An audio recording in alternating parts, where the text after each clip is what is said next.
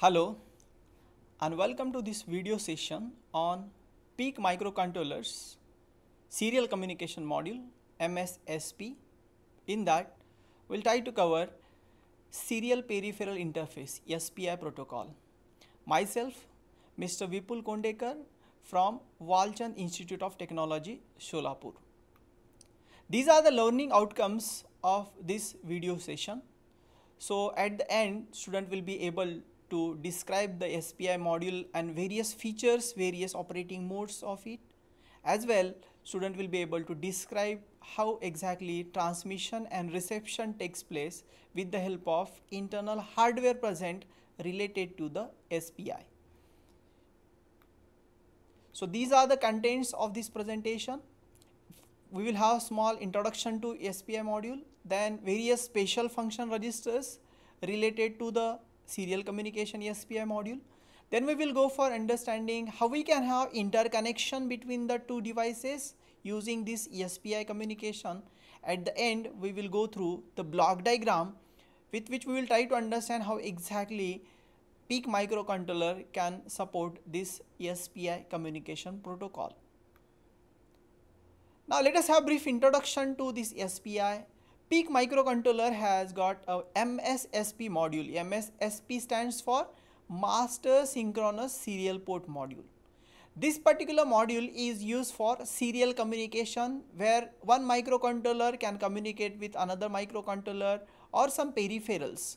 Few examples are like serial EPROMs or E square proms are available, shift registers, display drivers, serial ADCs are available. So when you want to have the communication between these serial devices which are supporting this SPI protocol, we can use this uh, MSSP module in SPI mode for the PIC microcontroller.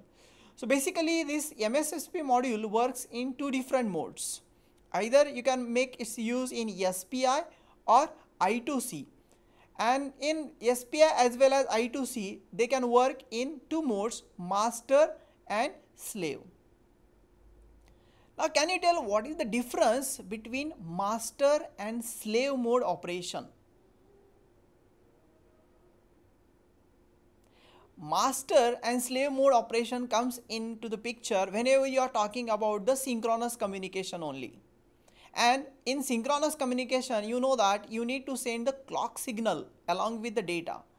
So whenever two devices are communicating the device which sends its clock is called as master and definitely another device will make use of the clock sent by the master for having synchronization in the serial communication. So this is basic difference between master and slave. Now let us concentrate on SPI protocol, SPI mode operation of MSSP. So PIC microcontroller allows 8-bit synchronous transmission as well as reception simultaneously it indicates. It supports full duplex communication. So to accomplish this particular full duplex communication via SPI, what are the pins available in microcontroller? So basically three important pins SDO serial data out, SDI serial data in and SCK are the three important pins. Along with that you may you can have use of one more pin called as slave select. So if you observe these are the port C pins as well this is one pin from port A for PIC microcontroller and these are the four pins used for SPI protocol communication. Now along with these pins you will be taking the help of special function registers related to this MSSP mode. So when you want to use SPI mode operation of MSSP, what are the different special function registers required? So there are four special function registers. Out of that, um, these are the two control and state. This is MSSP control register called as SSP con. MSSP status register is there, which is SSP stat, as well as two more registers SSP buff which is used to transmit the data as well as receive data is available in this particular buffer register and one shift register is there MSSP shift register. So these are the four important registers used for serial communication in SPI mode. Now this is how these are the details of the two important special function registers for configuration or initialization of the PIC microcontroller in SPI mode. So, one register is SSP stat which is SSP status register as well as another register is SSP con 1. Now, each and every bit present in this particular register has also got some significance.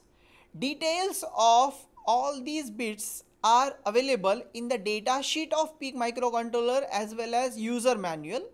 Because of timing constraint, we will not go in depth about understanding here the significance of these bits. If you refer the data sheet, you will find that the bit uh, format significance of each and every bit is available. You can go through the data sheet for the significance of these two special function registers. Just we will concentrate on what are the important functions performed by these control bits. So the important functions performed by the control bits are you can have the master mode or slave mode selection. Now as I discussed master mode means you are sending the clock. So SCK will be the clock output. If you are using slave then SCK will be the clock input. You will be using the clock of the another master if you are working in the slave mode. So this mode selection can be done. Clock polarity can be decided. So what can be the idle state of SCK? So when the communication will start, so that can be decided. Data input sample, when you are sampling the data, when you are receiving the data, when you are going to sample, whether it will be sample at the middle or end of the data output time. Clock edge, so the synchronization clock is used. So which clock is used for the synchronization clock rate, what will be the clock rate and slave, mo slave select mode, slave select mode when multiple slaves are present in one uh, network, one master is connected to multiple slaves. So then this is one important uh, uh, use. This is slave select mode. So these are the different what we can say operations or the modes in which the SPI module can be configured by taking the help of these control registers and status register. Now if you concentrate basically SSP con and SSP stat are the control and status registers as we discuss. Now SSP SR is one shift register so which is used for shifting the data. When you are transmitting the data, data is available to you in the parallel format. Now that parallel data has to be converted into serial so this shift register will do that serial conversion and will transmit that data onto the SDO line. As well if you are receiving the data so serial data will be received, serial to parallel conversion will be done. SSP buff is one buffer register. So which is, which data byte is returned to or read from. So when you want to write the data, when you want to send the data serially, write that data to the SSP buff. If you are reading the data serially, that serial data read uh, that data 8 bit data received will be available to you in the SSP buff register.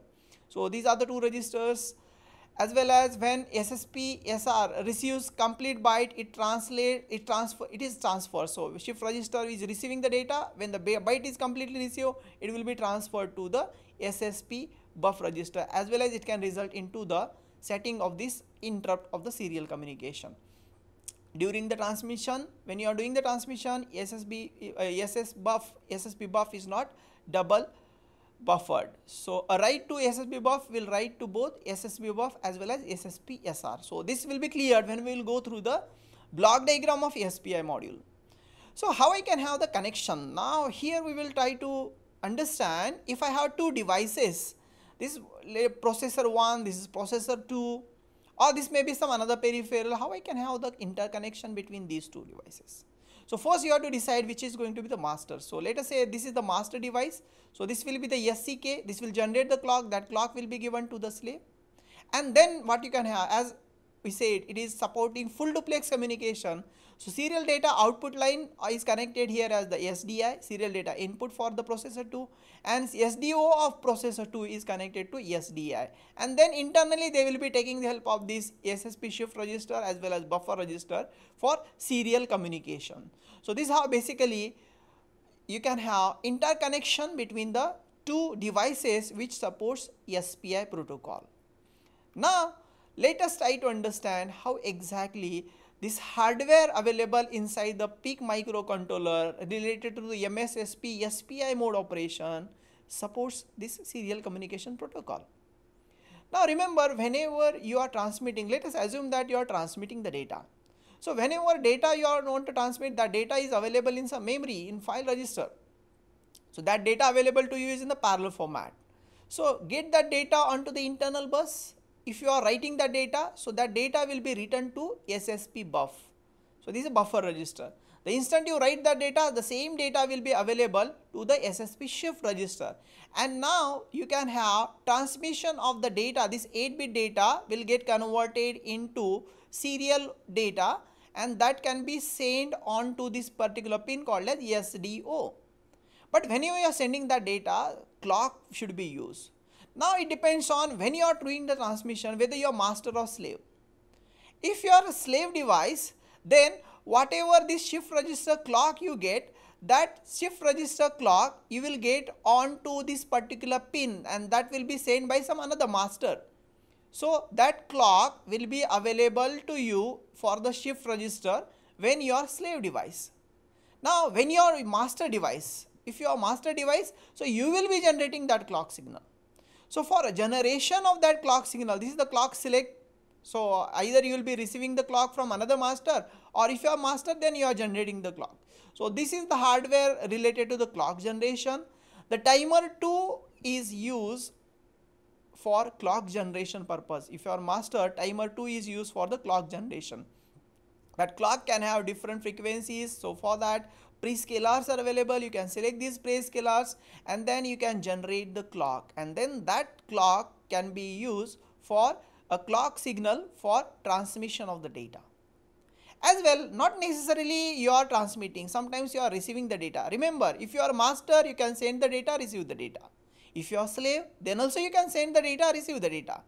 Just we have seen that how you can transmit the data if you are master, if you are slave. If you are master, you will be generating the clock and then you will be sending that data serially onto this SDO pin. If you are slave, you are receiving a clock generated by some another master and that clock is only used here for sending the data.